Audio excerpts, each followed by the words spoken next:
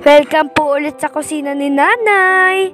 Today po, magluluto si Nanay ng masarap na corn soup with chicken.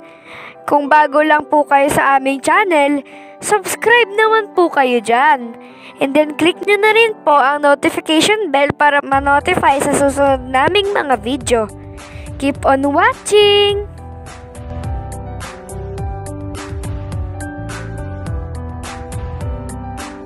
Narito po ang mga sangkap nating kakailanganin. Mayroon po tayong malunggay, yung dahon po. And then sibuyas, bawang, yung ating chicken na hiniwa ko na po siya ng maliliit. At saka yung ating mais na puti. Pwede rin po yung dilaw kung wala po kayo makitang mais na puti. So, ang gagawin natin dito sa mais, hihiwain natin, tatanggalin natin dito sa kanyang pinaka buto. So, ayan guys, sisimulan ko na po. Check po natin sa ating ingredients ang Nor cubes na ating pampalasa.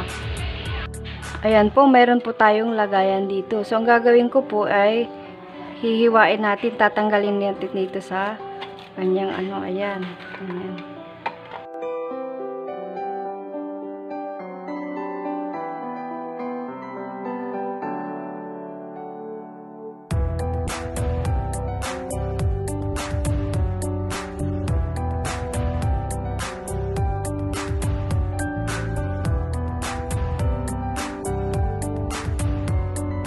Ito na po yung ating nagayat.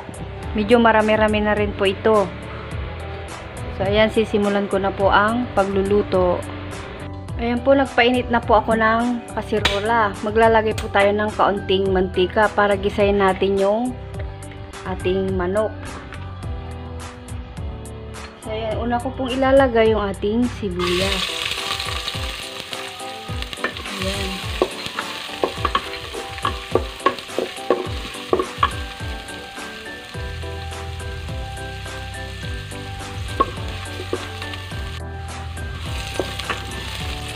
Tapos yung ating bawang, lagay ko na rin. Ayan.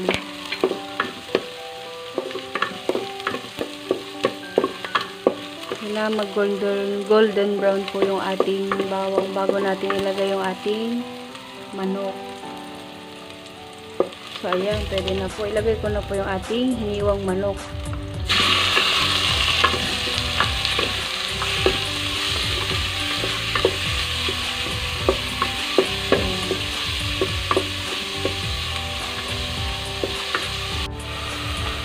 Ayan, gisahin natin maigi yung ating manok. Medyo golden brown na po siya. So, lalagyan na po natin siya ng tubig. Ayan. Bali, yung tubig na nilagay ko po is 2, bali 2 and half cups. So, ayan, pakuluin mo muna natin itong ating niluluto pa bago natin ilagay yung mais. Ayan, balikan po natin yung ating pinapakuluan. So, ayan, kulong-kulo na po. Pwede ko na pong ilagay yung ating mais.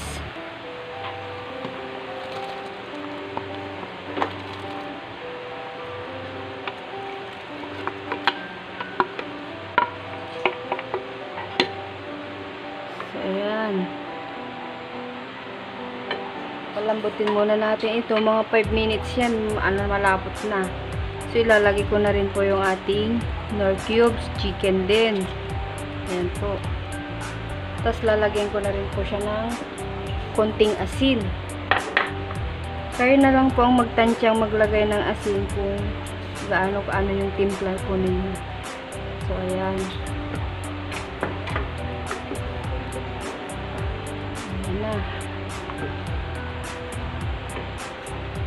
Tatakpan ko na naman ito. Uli nating balikan yung ating corn soup. So, ayan. Luto na po yung ating mais. Ayan po, malapot na po siya. So, pwede natin ilagay yung ating malunggay.